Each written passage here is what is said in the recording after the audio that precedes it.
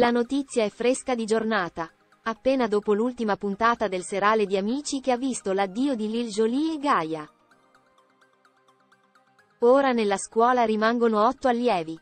E manca solo un mese alla fine del talent. Quindi la competizione si fa davvero serrata.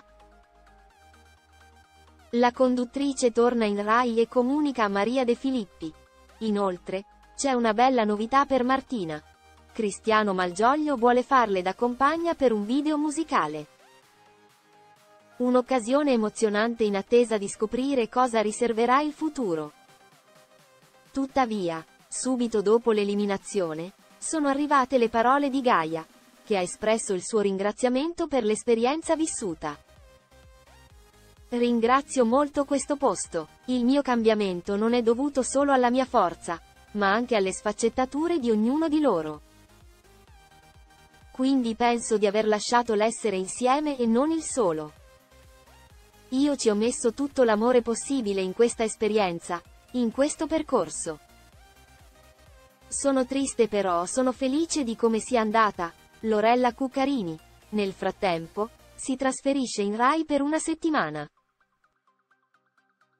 Novella 2000 ha riportato che l'insegnante sarà ospite in vari programmi partendo dai sempre mezzogiorno con Antonella Clerici su Rai 1, poi su Uno Mattina il 24 aprile, e infine il 26 aprile sarà ospite alla volta buona con Caterina Balivo. Cosa succederà ad Amici?